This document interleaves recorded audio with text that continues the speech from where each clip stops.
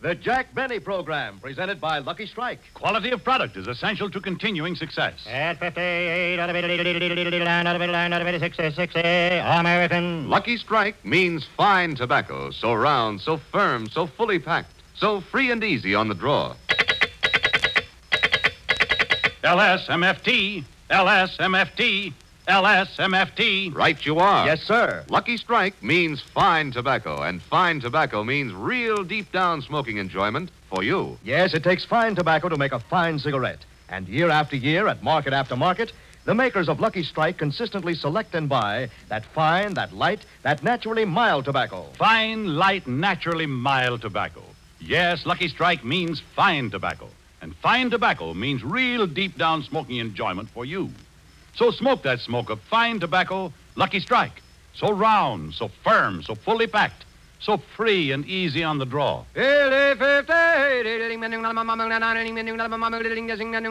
American.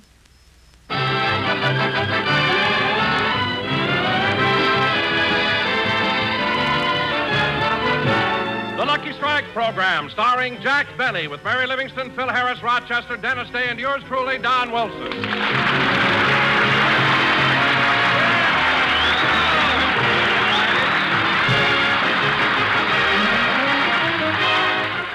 And gentlemen, last Sunday, Jack Benny started his 15th year in radio. All week long, he's been receiving letters and telegrams of congratulation, and his friends in Hollywood have been constantly calling him. So now let's go out to Jack's home in Beverly Hills where we find him talking on the phone. Well, I. Well, I. Oh, it wasn't that good. Uh, what? Oh, Ingrid. You're so kind, and coming from you, it's a, it's a great compliment. You know, Ingrid, praise is the lifeblood of an actor, so uh, thanks for the transfusion. well,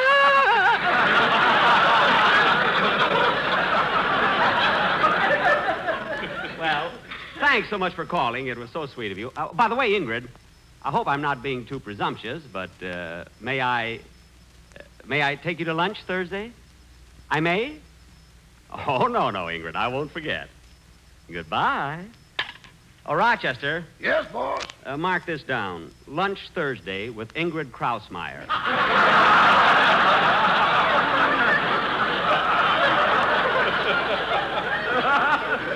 At uh, 1 o'clock. Is that Krausmeyer, boss? Yeah, she works at Republic. She's in charge of the saddles.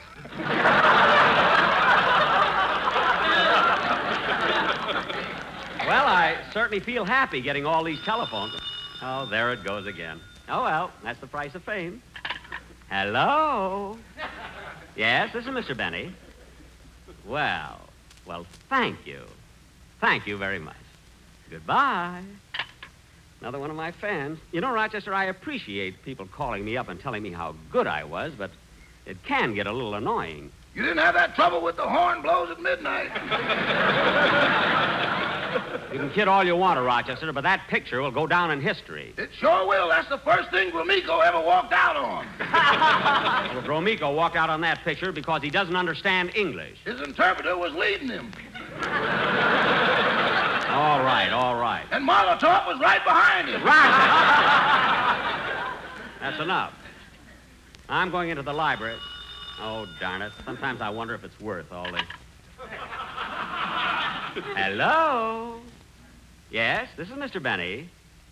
What? I mailed that yesterday. oh, yeah? Well, you can't disconnect it while I'm talking on it. What? You're up on the pole now? Well, put away those snippers and get down from there. I told you I mailed it. Hmm, how do you like that? Rochester, do you know there was a man up on the telephone pole? You mean Sam? Oh, you know him? Sure, he goes up there first of every month. Say, Rochester, what time is it? It's about a quarter to eleven. Good. The World Series will be on pretty soon. I want to hear it. I'll listen to it in the. Oh, there goes that phone again. You answer Rochester. Tell him I'm not at home. Yes, sir. Hello? no, I'm sorry, but Mr. Benny's not at home. Who? Thank you. I'll tell him you called. Who was it, Rochester? It was Ingrid Bergman this time. What? Give me that phone. Hello? Hello? Hello? Not you, and get down off that pole. Hello? Hello? Hmm. Rochester, why didn't you call me? You told me to say you were out. Just wait till you get a call. But, boss, you told me to say you... Never mind what I told you. You should know if I'll talk to Krausmeyer, I'll talk to Bergen. I'm going into the other room and listen to the World Series. Okay. And Rochester, early this morning, I put in a long distance call to New York, so plug the phone in the library. Yes, sir. Gee, I wonder if St. Louis will win the. Well, I'll know pretty soon. I'll answer it, Rochester. Take back your rumba, I, your samba, I, your conga, I, I, I. Hello, Jack. Well, hello, Mary. Come on in. You're just in time. I'm going to listen to the World Series. The World Series, who's playing? Boston against Ingrid Bergman. I mean, Boston and St. Louis. Come on in the library. Say, Jack, did you read the wonderful things the critics said about your opening program? Well, no, Mary. After all, I've been on the air for 15 years, and I feel that when I have a show to do, I just go out and do the best I can, and I don't concern myself with what the critics say. Then why have they got the reviews pasted on your glasses? Those are the lineups for today's game. I want to have them handy. Well, the game ought to be on pretty oh, soon. Oh, Jack, before I forget it, I got a letter from Mama yesterday. Your mother? Well, what did the truculent turtle of Plainfield have to say? She mentioned your first broadcast, and she liked it very much. She did? Your mother? That sweet little gray haired old lady who fractured your father's skull like my program? Yeah, and she even took the bandages off so Papa could hear it. Well, well, that was nice. And Jack. Yeah. What is it, Mary? Oh, Mama was so cute. She said she was preparing dinner when she listened to the radio, and while your program was on, she peeled four pounds of onions. Oh, fine. Listening to me and peeling onions. Mama said she was laughing on the inside and crying on the outside.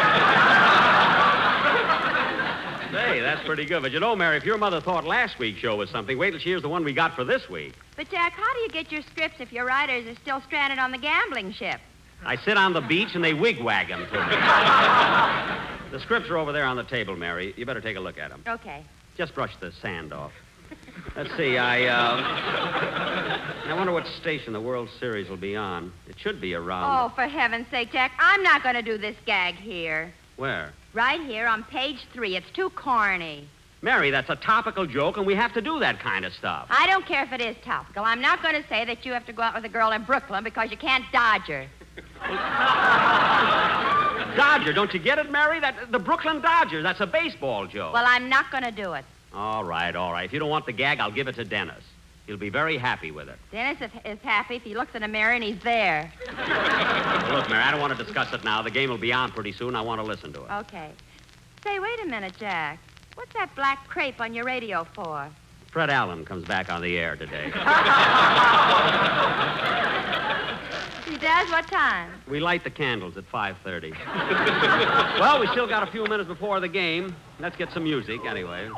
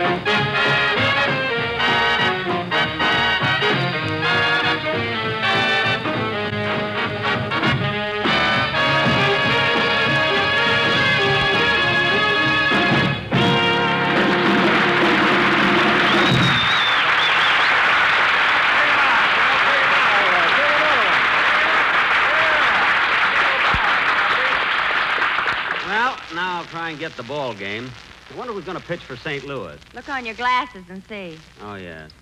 Well, they have Pollet's schedule, but then you never can tell.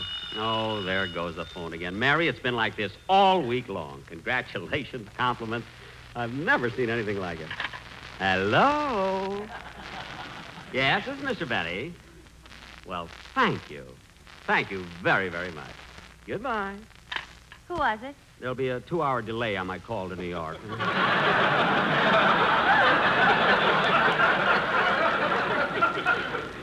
Well, don't let it go to your head. They say that to everybody. yes, but the way she said it, I knew she liked my program. Oh, Rochester, uh, Ro- do me a favor, will you, please? Yes, boy. Uh, pick up these scripts and put them in my briefcase. I don't want to forget them when I go to the studio. yes, sir. I'll put 'em right next to your Christmas card samples.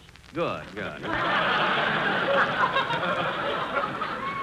Say, Jack, uh, when I was looking through the script before, I didn't see a commercial. I know, Mary, and I don't know what to do about it. Don Wilson got me to hire that lousy quartet and put them under contract for eight weeks at $500 a week. For $500, all they did was, hmm. Imagine four big jerks going, hmm. and one bigger jerk paying them. Well, why don't you break their contract? I don't know how. Well, how did Warner Brothers do it to you? They didn't break my contract. They just burned down my dressing room. I'll never forget the look on Jack Warner's face when he found out I wasn't in it at the time.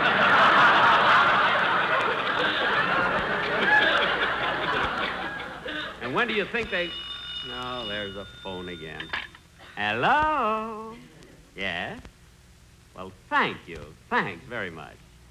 And you also like me on Dennis Day's program? Well, that's awfully sweet. Goodbye.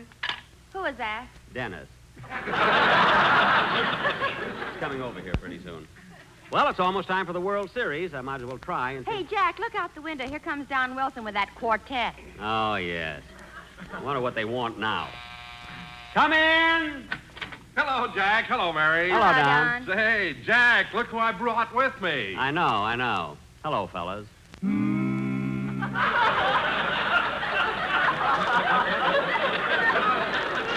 That's what I mean. Don, I'm glad you brought the quartet over. I want to talk to you about them. What's wrong? What's wrong? I'm not going to keep paying $500 a week just to hear them go hmm during a commercial. Well, Jack, at the end of our show last week, when you kicked me in the stomach, I suspected you weren't quite satisfied. You bet I wasn't satisfied. I'm not going to pay $500 for a quartet for one note. And another. Now, Jack, Jack, calm down, calm down. I've got it all fixed up now. That's why I brought the boys over. Now, here's the way we're going to do our commercial today. Look, Don, I don't want these Just fellas. listen to this, Jack. Listen to it. Now, I'm sure you'll like yes, it. Yes, Jack, give him a chance. All right, all right. Now, here's the way we'll do it. Get set, boys. Here we go. LS, MFT, LS, MFT. Lucky Strike means fine tobacco. Yes, Lucky Strike means fine tobacco. LS, LS, MFT, la la la la la, hee hee hee. LS, LS, MFT, la la la la la. Go round. Go that's not what I want. Go free and easy on the draw. That's not what I. LS, LS, MFT, la la la la la, hee. Lucky made of isn't that fine, that light, that naturally mild tobacco. Don. So for real deep down smoking enjoyment, it's LS, LS, MFT, la la la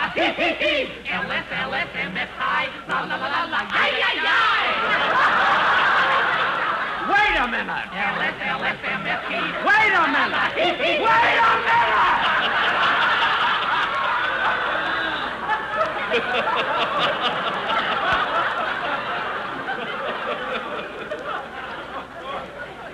Wait a minute.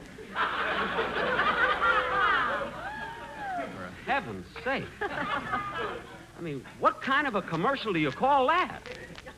I mean, what's the matter with you guys?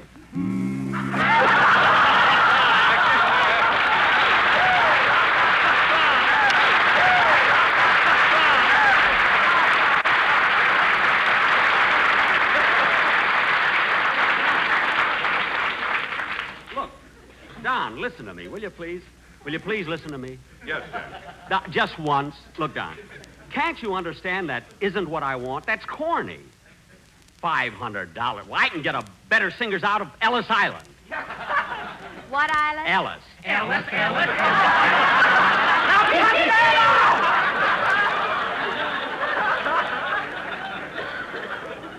out! And Mary, you didn't have to trick me into that. Now listen to me, Wilson. This is all your idea, not mine. And if you think for one minute that I'm going to. Hello? yes? Thank you. Thanks very much. It was so nice of you to tell me. Goodbye. Now, Wilson, if you think for one minute that I'm Who going. is that, Jack? It's only an hour delay now. Don, if you think for one minute that I'm going to be stuck with this quartet, you're crazy. And to show you I mean what I say, I know how to break their contract. Jack, put down those matches. I can't help it, I'm mad. Oh, boss, if you want to hear the World Series, it'll be on pretty soon. Okay.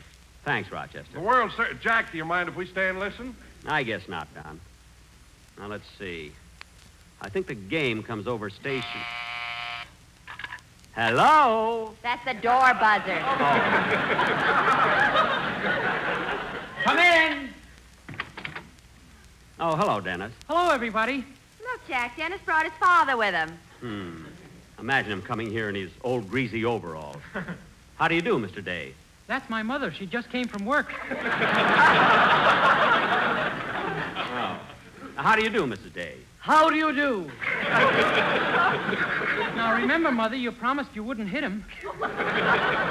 Hit me. Yeah, there's something about you that brings out the beast in her. Now, Mrs. Day, I don't know what you have in mind, but I'd like to talk to you some other time. Right now, I want to listen to You the... listen to me first. All right, and put down that wrench. now, what is it? Well, Mr. Benny, now that my Dennis is a star on his own show, you must uphold his dignity by giving him more lines, more songs, his own dressing room. And at all times, he must be treated with the utmost respect. Yeah, utmost. Now, look, Mrs. Day. Now, you listen to me. You can run Dennis's life if you want to, but you're not going to run mine. Gee, Mr. Benny, my father wouldn't dare talk to her like that. Your father. What a weakling he must be. Where'd your mother ever get him, anyway? Eastern Columbia, Broadway at Ninth. Gee, they have everything. Now, Mrs. Day, look, I don't want to talk any more about it, and that's settled. All right, if that's the way you feel about it, come on, Dennis, we'll go home. Dennis stays right here. I want to hear the song he's going to do on my program. Very well, but I'm leaving. I'll wait for you outside, Dennis. Goodbye. Hmm. Gee, she's a character, isn't she? I'll say she is. Now, go ahead, Dennis. I want to hear the song you're going to do. Okay. I have trouble with everybody.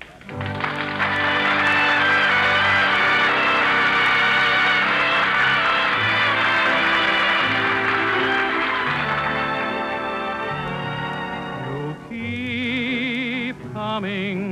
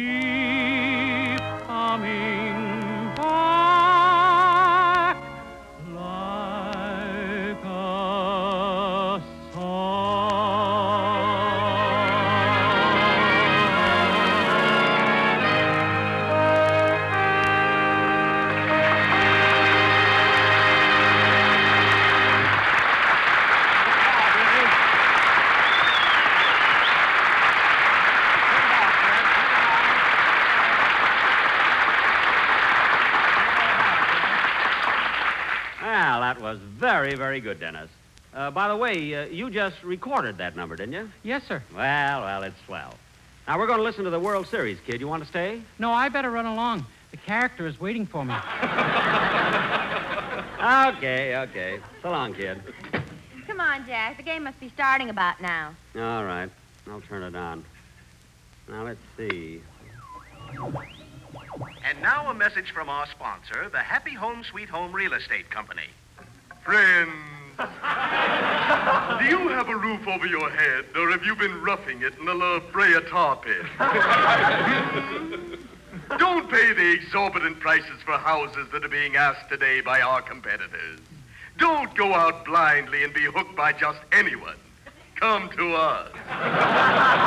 Remember, we are your friends. Jack. Wait a minute. I want to hear this. Listen to this week's special offer.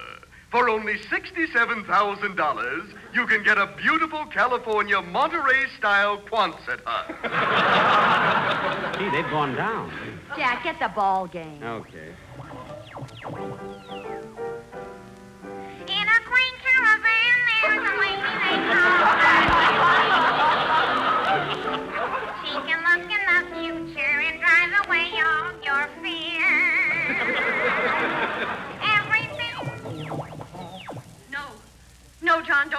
I beg you. I implore you. Please, John, I love you. I love you. Hey, this sounds interesting. John, if you no longer care for me, think of the children. Think of William. Linda, Milton, Jeanette, Percy, Ellen, Hilda, Steva, Ken, Peggy, Harriet, Margaret, Richard, Dorothy, and little four-year-old Herbert, our eldest.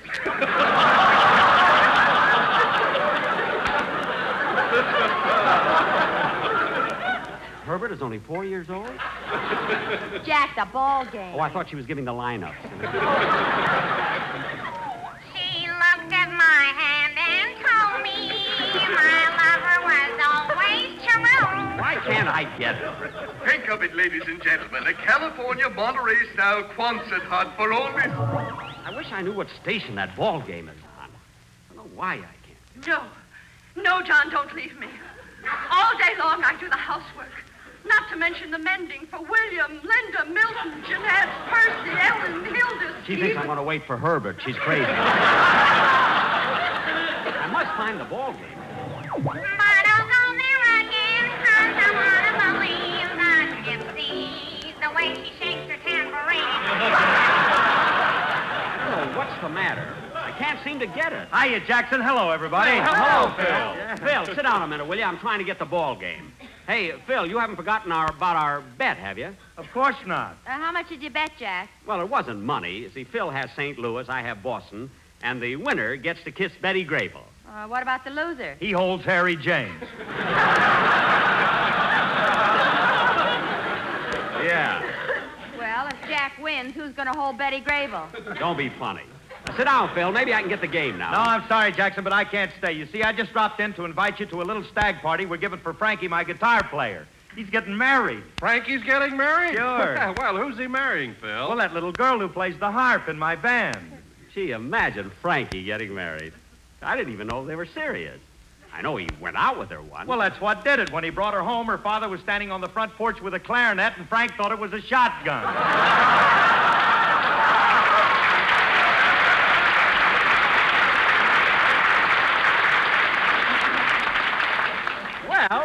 Well, well, that's a logical mistake. Uh, don't rush off, Phil. Sit down and listen to the game. will you? Sorry, Jackson, I got to run along. I'll see you at the party. Okay, but I'll uh, I'll get there a little late. I'm on Charlie McCarthy's program today. Okay, so long, everybody. Oh, goodbye, Phil. So long, Phil. Give my regards to Alice. Alice, Alice, MST.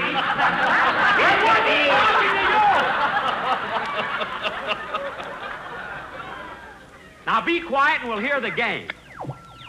The gypsy.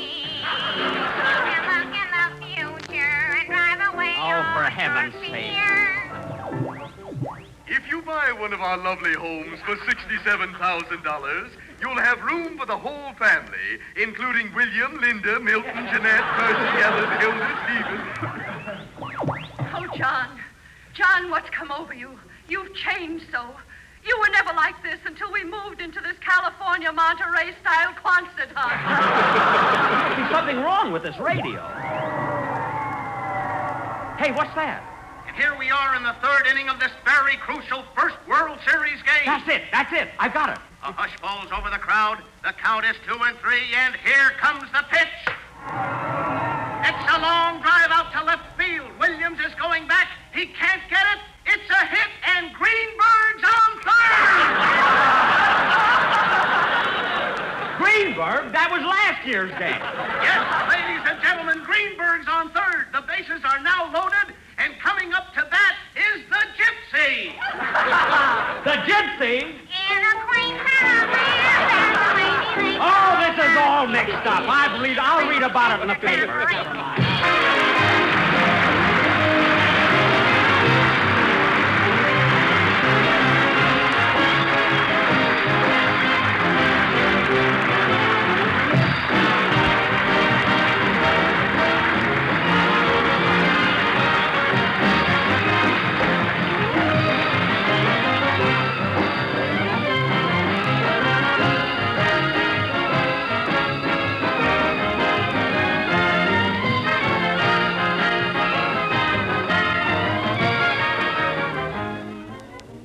Ladies and gentlemen, I'd like to say a few words about the USO fundraising drive for 1947.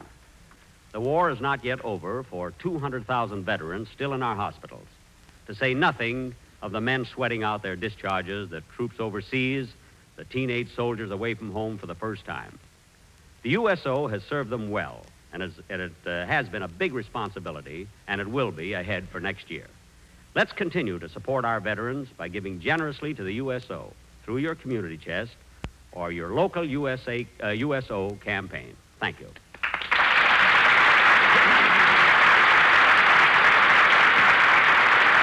Jack will be back in just a moment, but first, here is my good friend F.E. Boone. At 58, out of it, out of it, out of it, 60, 60, American. Lucky Strike means fine tobacco. And in a cigarette, it's the tobacco that counts. Independent tobacco experts, auctioneers, buyers, and warehousemen really know tobacco. For example, Mr. Herbert T. Highsmith, independent tobacco buyer of Robersonville, North Carolina, has bought and sold tobacco for 15 years. He said, Season after season, I've seen the makers of Lucky Strike buy quality tobacco, fine tobacco with real flavor, smooth, ripe, and mild. So for myself, I pick Lucky's. I've smoked them for 15 years. Quote, season after season, I've seen the makers of Lucky Strike buy quality tobacco. Unquote. Yes, year after year, independent tobacco experts like Mr. Highsmith can see the makers of Lucky Strike consistently select and buy that fine, that light, that naturally mild tobacco. Fine, light, naturally mild tobacco. Yes, Lucky Strike means fine tobacco. LSMFT, LSMFT, LSMFT. Yes, Lucky Strike means fine tobacco. So round, so firm, so fully packed, so free and easy on the draw. The famous tobacco auctioneers are on tonight's program Mr. F.E. Boone of Lexington, Kentucky. At 60, out of it, 60, American. And Mr. L.A. Speed Riggs of Goldsboro, North Carolina. American. Basil Ruysdael speaking for Lucky Strike, the cigarette that means fine tobacco.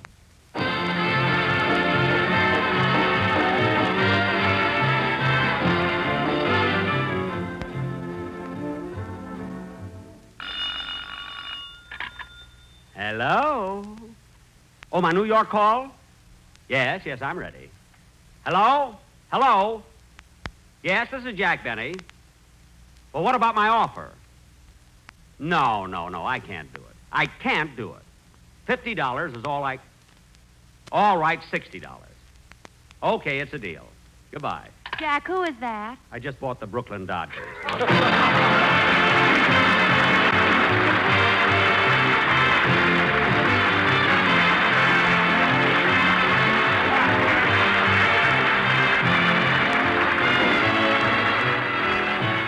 This is NBC, the national broadcasting company.